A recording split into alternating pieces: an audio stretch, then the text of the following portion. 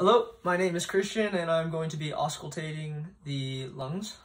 So to begin, I'm going to start with right above the clavicle.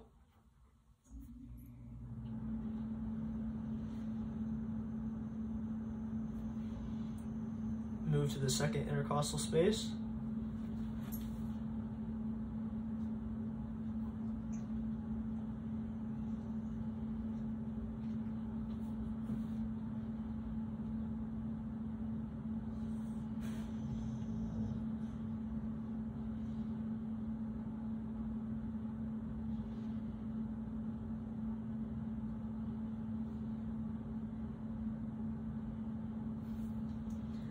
Okay, so the breathing seemed to be equal and uh, normal uh, for the anterior side.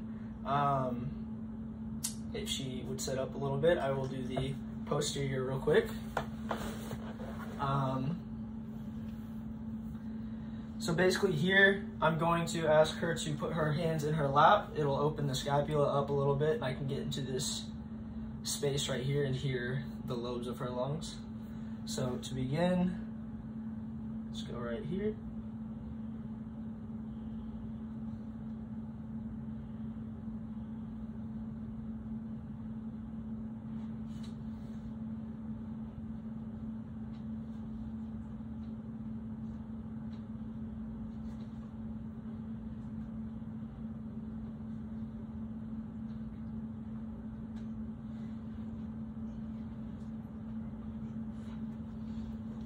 And once again, uh, posteriorly, it seemed to be normal sounds and no sign of any abnormal sounds.